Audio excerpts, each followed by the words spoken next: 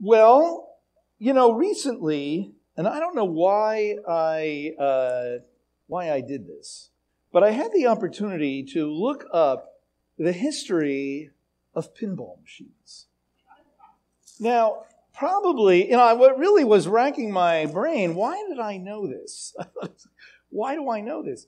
Um, uh, because sometimes, you know, if, I don't know if you do you have to ever do this that if you're either listening, you're you're reading something in a book, you're listening to something, or you're watching something, you immediately go to that source of all information, Wikipedia, right? Is that person still living? Or where did that come from? Or, you know, something about different things, right? So I must have seen something uh, on television. Uh, it's all I can think of. So I looked up the history of uh, pinball machines. So I learned something.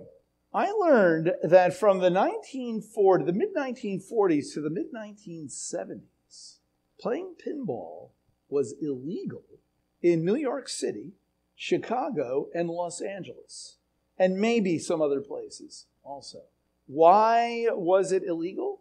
Because it was considered gaming, like, you know, uh, uh, gambling, right? Uh, that you put the money in, and then you pull the lever, the ball goes, and it just goes wherever it's going to go, right? Uh, and uh, and so, uh, of course, uh, the uh, many uh, you know gaming machines, pinball machines. There was a big you know the the we'll just say organized crime was involved, right? and then it was understood to be a source of juvenile delinquency, right?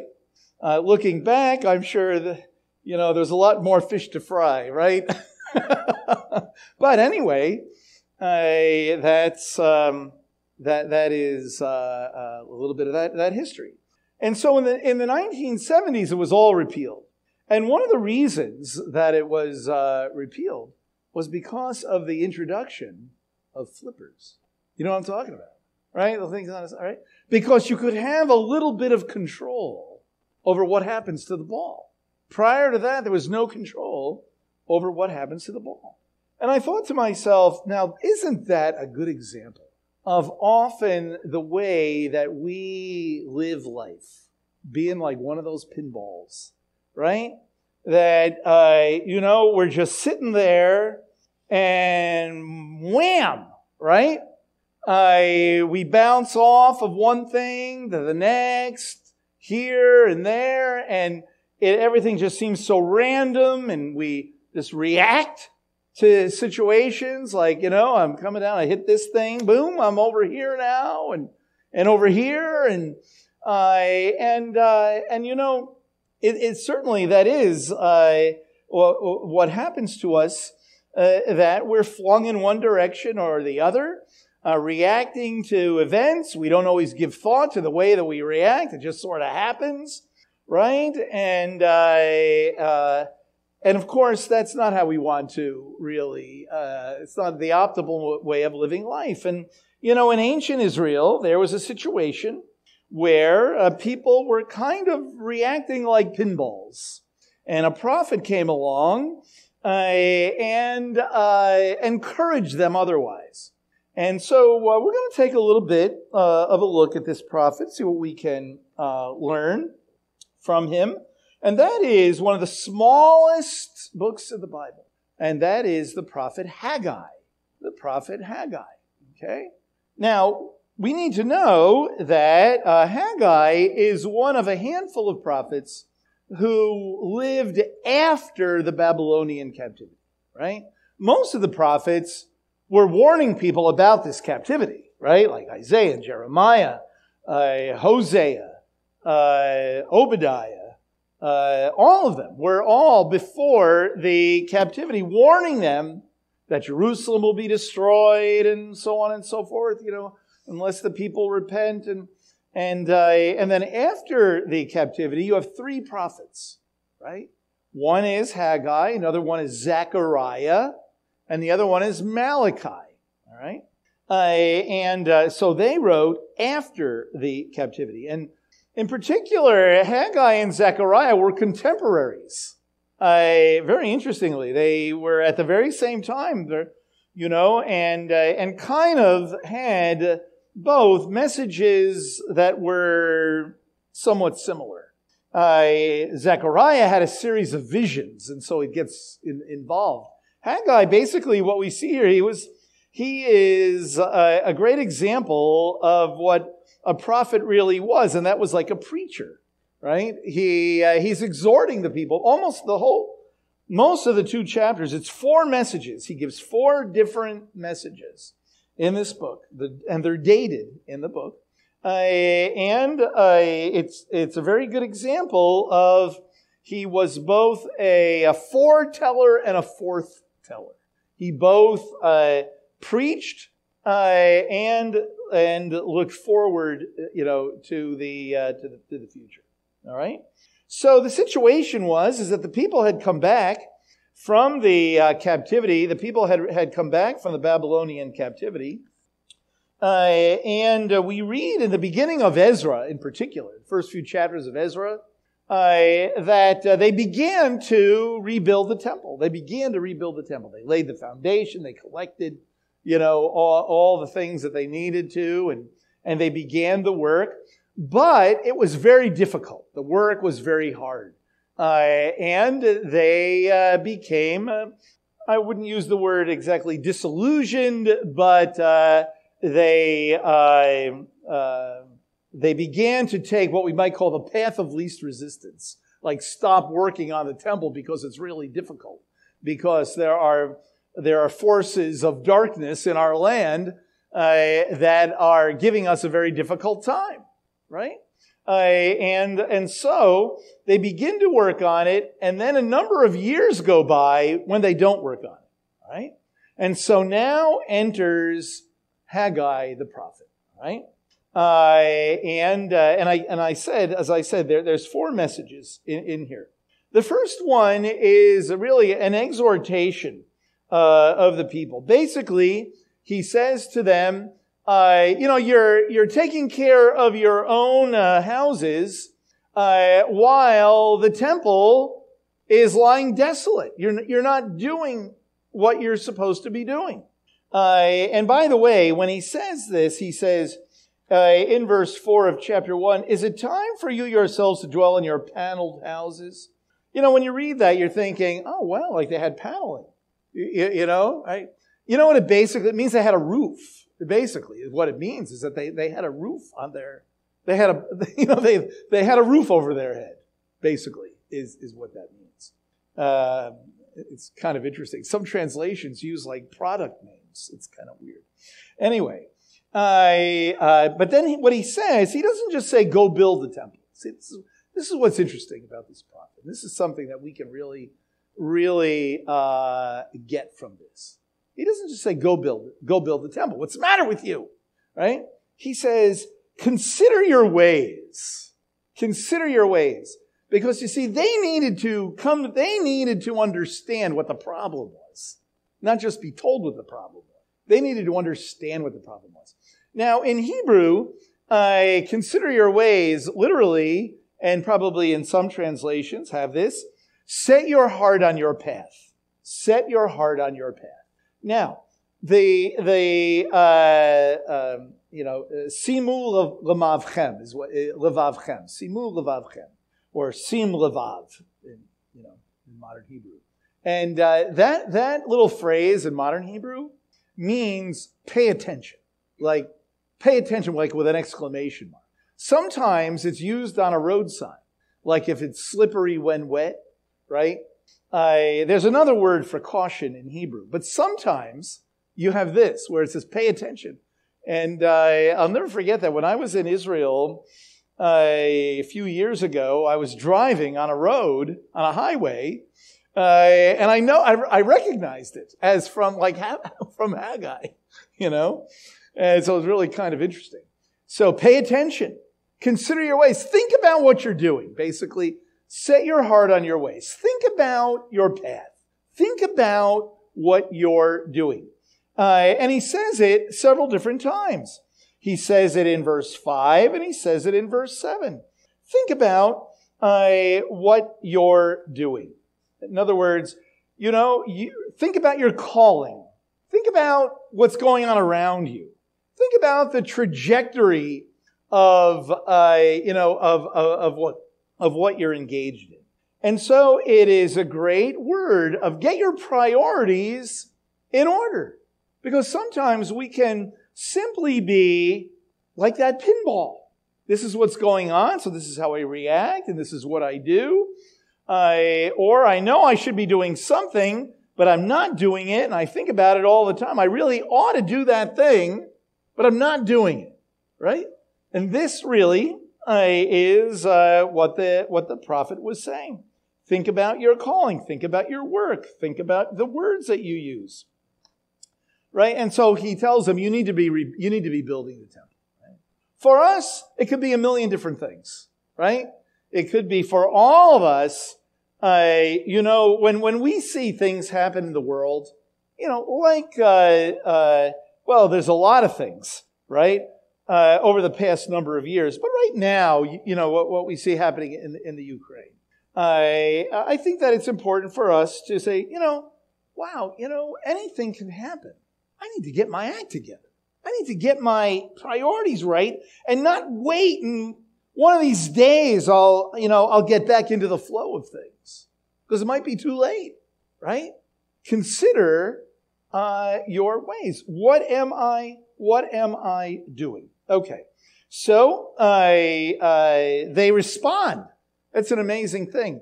In, in almost every prophet, the people never respond. Here they respond. They respond well. They uh, they basically repent and they begin to rebuild the temple. Okay, they don't uh, throw rocks at, at Haggai uh, or, uh, you know, or anything like that.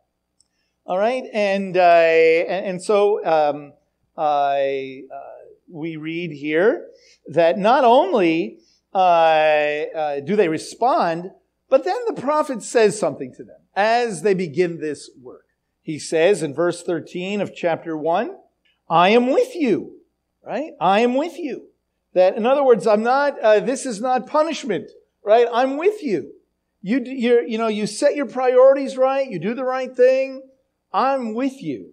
And then, uh, he says, uh, uh to them, uh, you know, not, not to, uh, not to fear. and, and so they go about rebuilding the temple. Now, the prophet gives another message. About a month later, he speaks again. Okay? In chapter 2 uh, he uh, he's, he anticipates, or he maybe he himself remembers the first temple. Remember, Solomon's temple was a great, grand temple, right? Now they're rebuilding the temple. This is the second temple that they're building, uh, and it's not nearly as glorious looking as the first temple. And so he says, you remember that first temple? Remember, you know, what it looked like? And, uh, you know, uh, and, and so he says, uh, does, does it not, does this temple, verse three, does it not seem to you like nothing in comparison? Then in verse four, but now take courage. Now Zerubbabel was the governor. He was actually descended from David. And he was the leader of the people when they returned. Zerubbabel is his name. If you're looking for a child's name, Zerubbabel. Okay? Hey, he's descended from David. What, what do you want? Okay?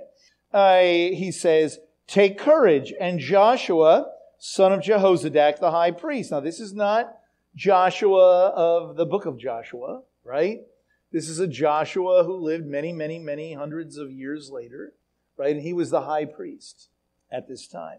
And so he says, Take courage, declares the Lord, and work, for I am with you. He says it again. I am with you says the Lord. As for the promise which I made to you when you came out of Egypt, my spirit is abiding in your midst. Do not fear.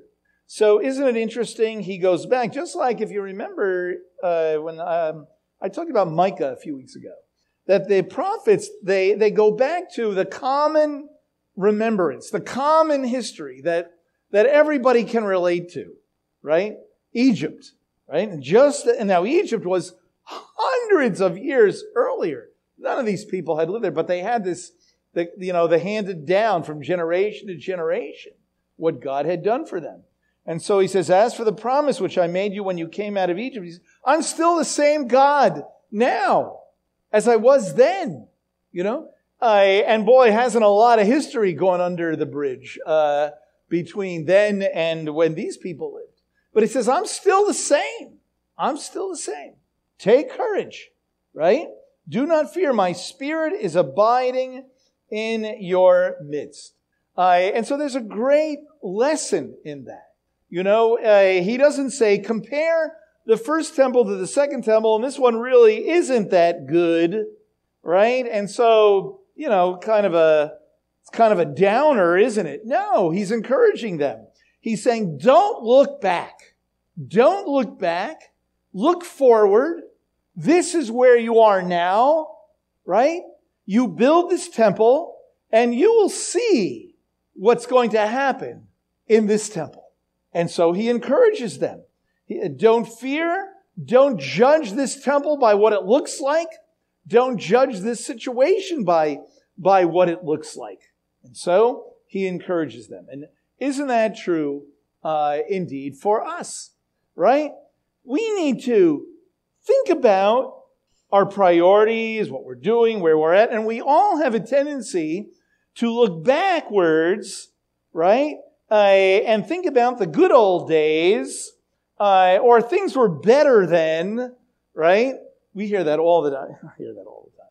Things were better then, better than now, uh, and it, you know the glass is half empty. Uh, everything's really just lousy, uh, and that's it. Something very important about the prophets. To, uh, the prophets, yes, were very honest about the way things were. But they also had this hope of the future that affected the present. None of them, none of the prophets were, it is so bad, just throw in the towel, lay down and die. Okay? That is not uh, how, how the prophets operated. Okay? Uh, now, these people who had returned, these were, these, this is the remnant of Israel. Uh, you know, these are the people that came back. These are not, um, you know, uh, uh, terrible people. These are not, you know, people like you read about in Micah or in Amos who were uh, doing all kinds of uh, horrible things. These are the people who had returned, but they became discouraged. They became discouraged. Even the remnant can be discouraged, right?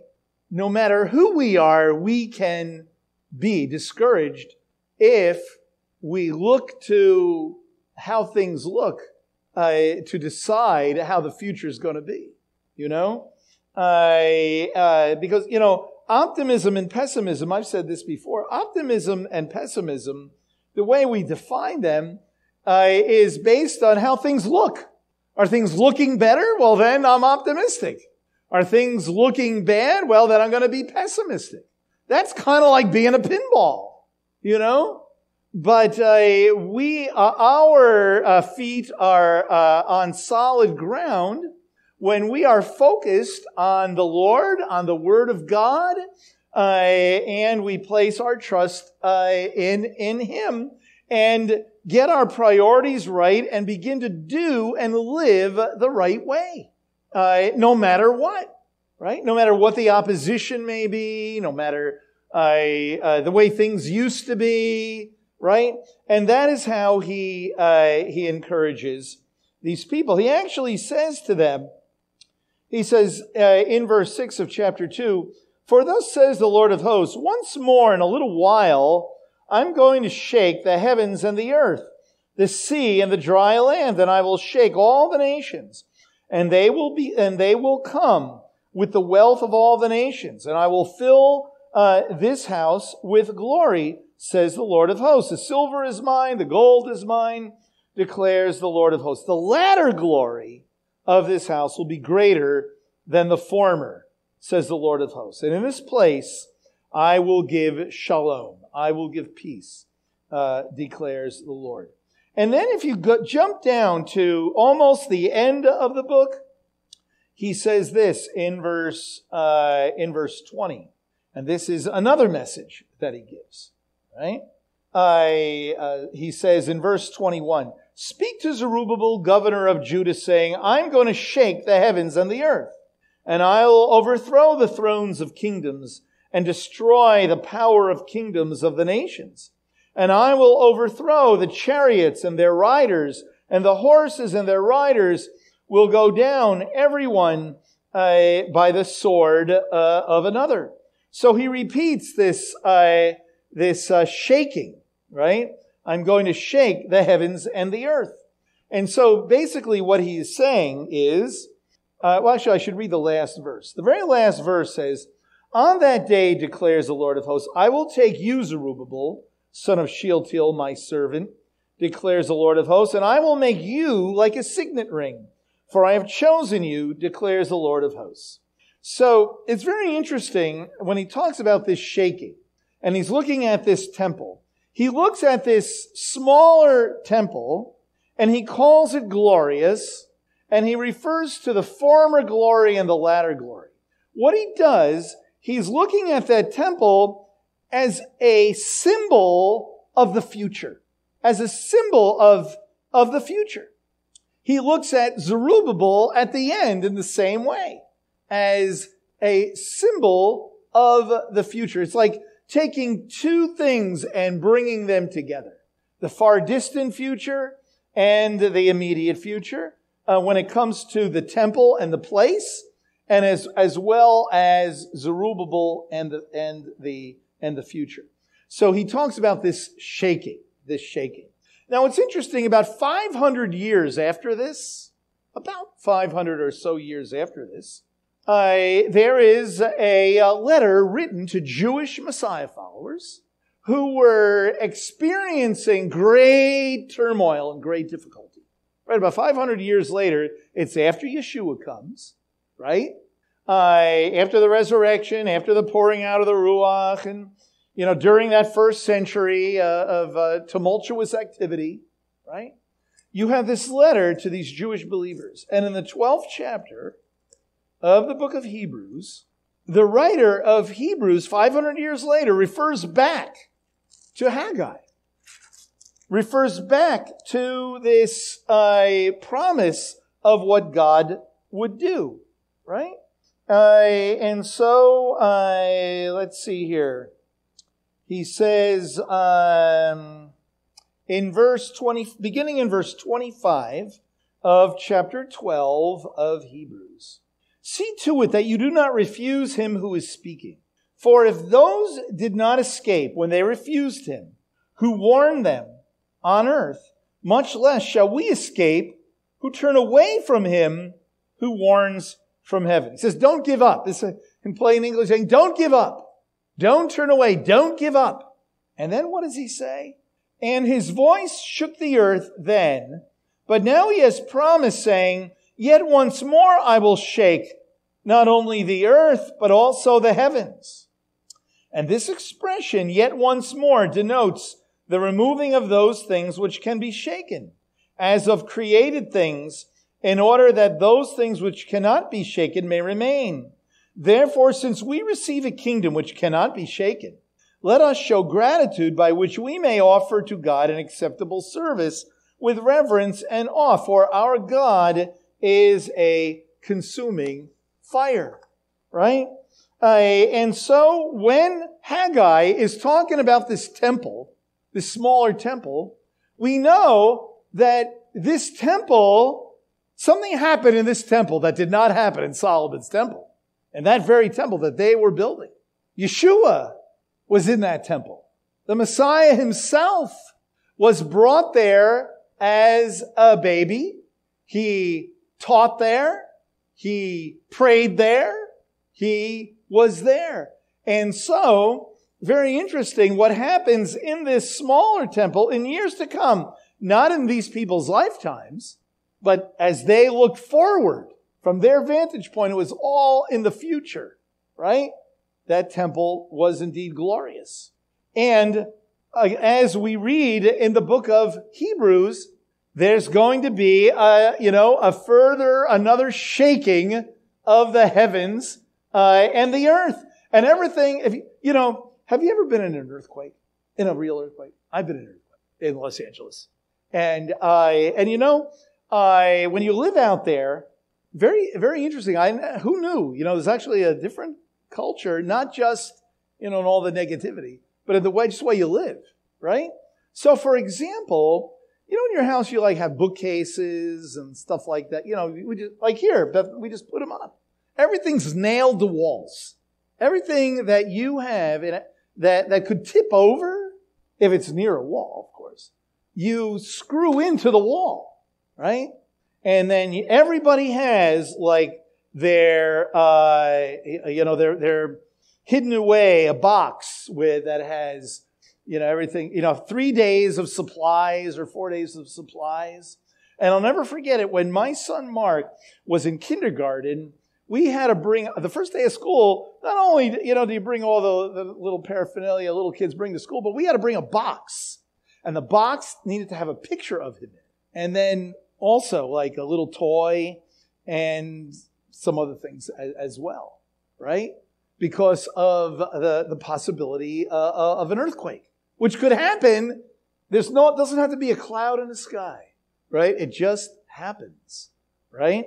and things can fall down. So when it says here the earth is going to shake, basically what he's saying is everything that's not, you know, that's, that is uh, not attached to something else is going to go flying. And the only thing that's going to ultimately last is God's kingdom, you know? And so what, uh, what both um, Haggai and the writer of Hebrews is saying, be on the right side of history, you know? Be on the right side of history. Be attached to Yeshua. Be attached to Yeshua and you'll be okay. Right? Uh, and so that's what he's saying here that, that um, God is saying, I am greater than whatever you see here. I'm greater than the problems in the land of rebuilding the temple. You get your priorities right. You live the right way. You trust me no matter what happens, and even if you die, you will live, right? Uh, and, and, so he says that that um, uh, you know, be encouraged, be encouraged. Don't look backwards. Don't compare this temple to the other temple. Just recognize that what you're doing is a work of God and it's glorious. And continue and continue uh, in it. And he says, I am with you. Do not fear. And just like what you read, these people in Haggai's day, these were not, these people were not with Moses. They weren't there in the, in the wilderness. They know about it the way we know about it. They know about it from, uh, from the Bible. They know about it from what was handed down. And what does Haggai say? It was true then and it's true now. And we can say, I think with assurance, and it is true to this day as well.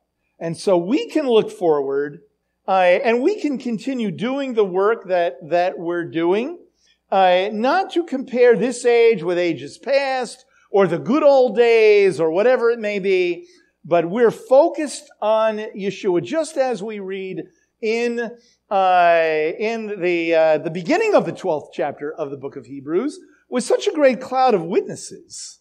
Put aside everything that gets in the way, right? And keep your eyes focused on Yeshua and keep moving forward. That's what he said to these people. That's what he says to us. And it's true for us not only in our, uh, you know, communally, even individually in, in the way we live our lives.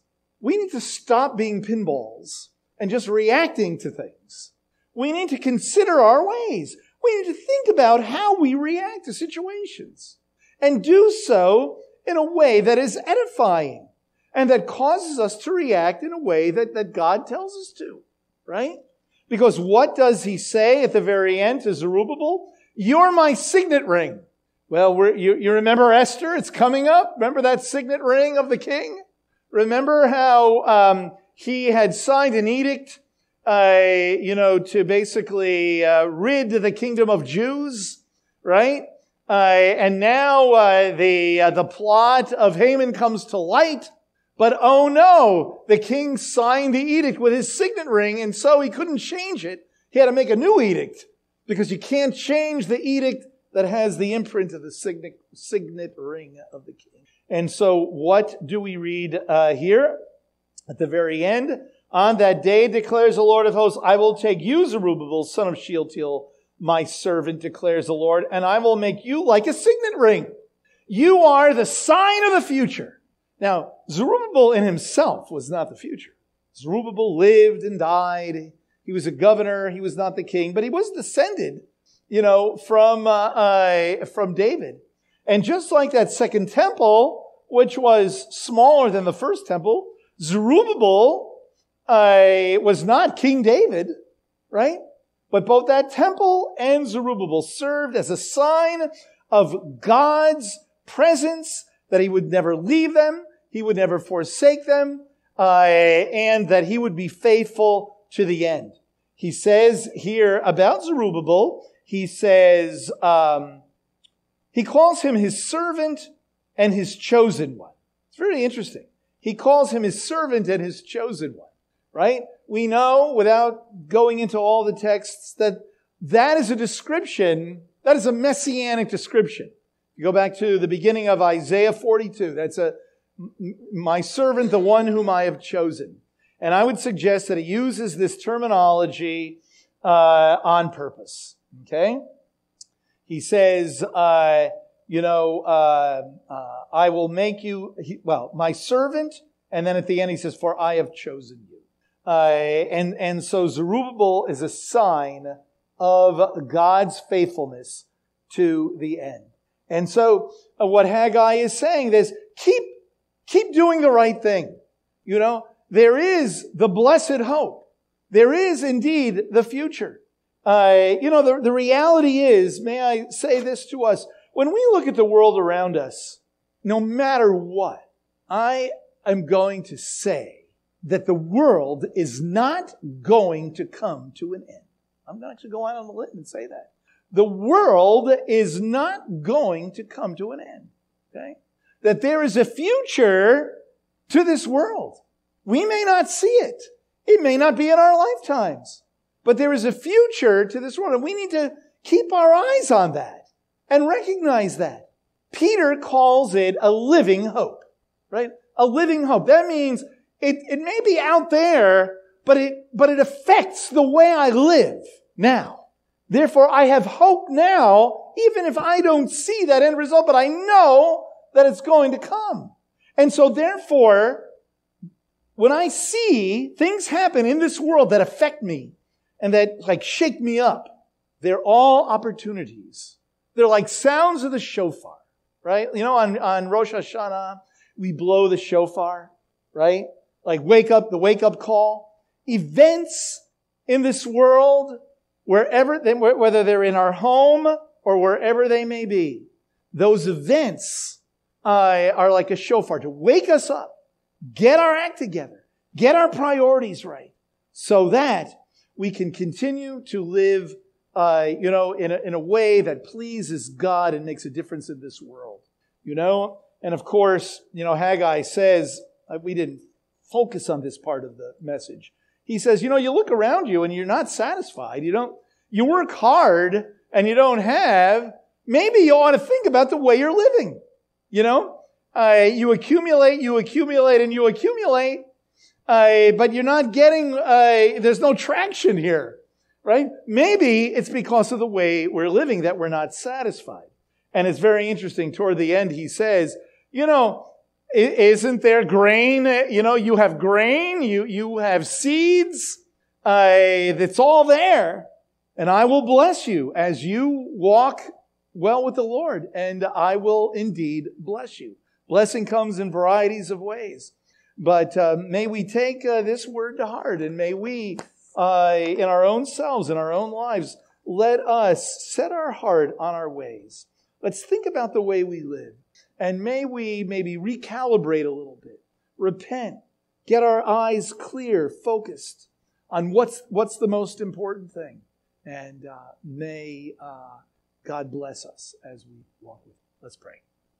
Lord uh, God, um, I pray, Lord, that uh, we would not uh, react randomly to random events I pray, Lord, that we would give thought to the way that we respond, react in a godly way, Lord, so that we can fulfill the calling that you've given us in this world, that we would not be distracted by all the things around us, but that we would stay focused indeed on you, Lord. And I pray, uh, God, whether we're talking about, uh, you know, uh, our life congregationally, uh, the, the, the entire uh, body of Messiah worldwide, or in our own homes, in our own lives. Lord, we all face challenges. We all have challenges, challenges at home or at work or with family or, or eh, with the, the work you've given us to do here. There's always impediments. There's always challenges. Lord, I pray that we would keep our priorities right. We would stay focused we would keep moving forward and uh, recognize, Lord, that you ultimately do indeed bring the victory. And we thank you that the victory has indeed come in Messiah Yeshua, but the ultimate victory, uh, indeed, we look forward to. We thank you. In Messiah's name.